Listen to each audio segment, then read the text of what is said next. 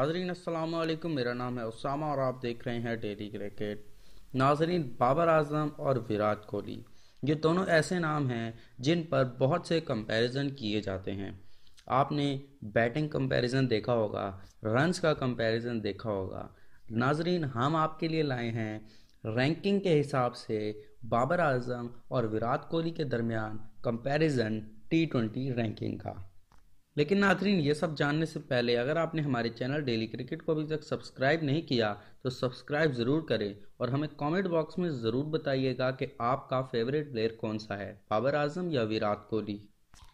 नाजरीन, अब बाबर आज़म और विराट कोहली का मैचेस के हवाले से टी ट्वेंटी रैंकिंग का कंपैरिजन करें तो पहले पाँच मैचेस में बाबर आज़म और विराट कोहली अपने कैरियर के पहले पाँच मैचेस में बाबर आज़म की रैंकिंग थी 53 नंबर पर।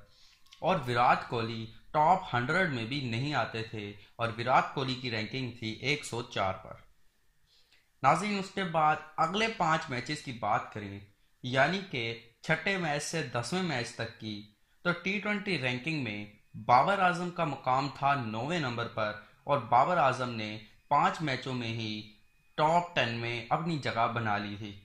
और विराट कोहली कोसा दूर थे और 53 नंबर पर मौजूद थे। नाजिन इसके बाद अगले पाँच मैचेस में, यानी कि ग्यारहवें मैच से पंद्रहवें मैच तक, बाबर आज़म की रैंकिंग थी छठे नंबर पर और विराट कोहली एक दर्जा आगे चले गए थे बाबर आज़म से और पाँचवें नंबर पर आ गए थे। लेकिन नाजरीन, फिर अगले ही पाँच मैचेस में, यानी कि सोलहवें से बीसवें मैच तक, Babar Azam T twenty format के नंबर वन बैट्समैन बन गए, लेकिन विराट कोहली तीसरे पर रह गए और दो दर्जे पीछे रह गए बाबर आज़म से। इसी के हवाले से अब अगर हम ग्राफ के ऊपर नज़र डालें तो ग्राफ के मुताबिक ग्यारहवें मैच से चालीसवें मैच तक बाबर आज़म और विराट कोहली एक जैसी रैंकिंग पर ही चलते रहे हैं।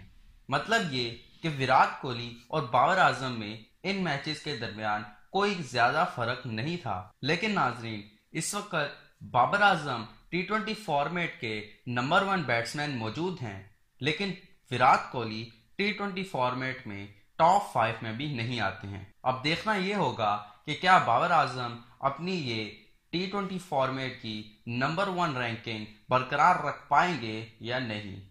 इस बारे में आपकी क्या राय है, हमें कमेंट बॉक्स में ज़रूर बताइएगा।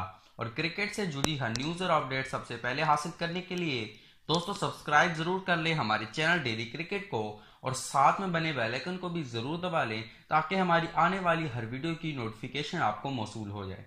नाजिन वीडियो अच्छी लगी हो तो लाइक ज़रूर कीजिएगा। वीडियो देखने का बहुत शुक्रिया। अल्लाह हाफिज।